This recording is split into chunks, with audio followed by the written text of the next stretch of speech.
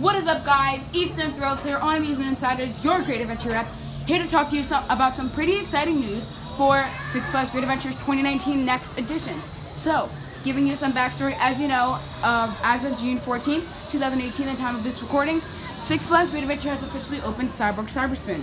You should definitely go down. It is a great attraction that Six Flags has added to the park, and it also is a and also is a really unique attraction that the park needed, which gives the park another great flavor ceremony on June 13, 2018, the park president of the park, John Winkler, stated that the, they have been working on their 2019 attraction for over a year, which is pretty exciting. So we here on Amusement Insiders think that Great Adventure could potentially be getting a roller coaster in 2019 for their 45th year in operation. In this first speculation video for Great Adventure's 2019 project, I will be showing you three things. Number one, I will be showing you what has happened so far. Number two, I will be showing you the plot of land that this 2019 attraction could potentially be taking up. And number three, I will be showing you the three possible coasters that could be going in this area. So let's get right into the video. As you can see on the screen above, here you can see these green construction walls that have clearly shown up in the Golden Kingdom section of the park near Splashwater Oasis and the Bloodshed Maze. A common theme that we see with these green construction walls is that it always signals a new attraction or addition is being added to the park. We've seen this with the new Ben and Jerry's that they're adding to the park in 2018 and other rides and attractions in previous years. That's why we here at Amusement Insiders think that Great Adventure could potentially be seeing a roller coaster in 2019. The last roller coaster that Six Flags Great Adventure got was back in 2016 with the Joker, and the new park president John Winkler said that they've been working on the 20 19 attraction for over a year now. And I definitely think that that could be signaling a new attraction that's big, such as a roller coaster. So that's what we'll be talking about in today's video. The first roller coaster that I could potentially see going to Six Flags Great Adventure is an RMC Raptor. Now, why do I think an RMC Raptor could come to Six Flags Great Adventure? For one, it fits really well into the plot of land that is projected to be for the Six Flags Great Adventure 2019 attraction. As you can see, an RMC Raptor could fit really well into the plot of land that is projected for the 2019 attraction at Six Flags Great Adventure.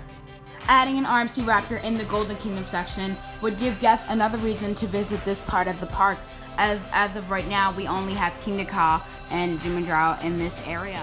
Also addressing an issue that could occur when having an RMC Raptor at a Six Flags park the capacity wouldn't be too bad if you could dispatch trains every 30 seconds and you're constantly running through trains.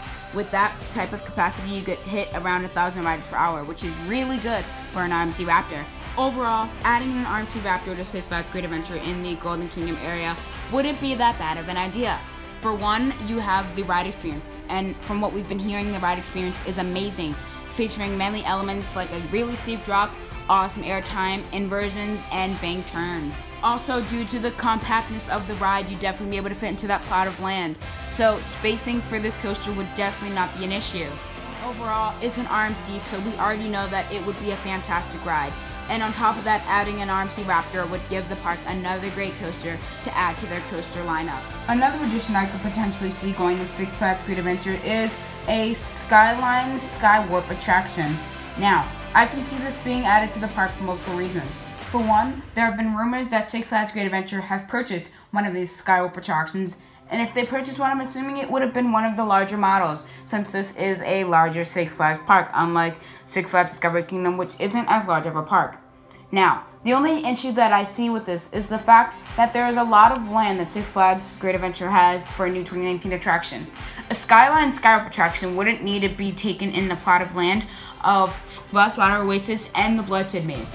Therefore, I don't think this could be this is as likely, but I'm not saying it is impossible. I definitely do think that a Skyline Skywarp attraction is possible for Six Flags Great Adventure in the near future, and if they got one at the park, I would not be disappointed. The third and final roller coaster that I could potentially see going to Six Flags Great Adventure is an RMC T-Rex coaster. Now, there are multiple reasons as to why I think an RMC T-Rex coaster could also come to Six Flags Great Adventure. Now, before I begin, I think that this is the least likely of the three. Now, this definitely could be a possibility, but I could much rather see a Skywarp or an RMC Raptor going to the park aside from an RMC T-Rex. For one, an RMC T-Rex would be a first of its kind, which could then lead to the reason why they have been planning this coaster for over a year, uh, just like the park president said. So an RMC T-Rex could have very well be the reason why they took over a year to plan this coaster. it would be a first of its kind and definitely giving some amazing growth.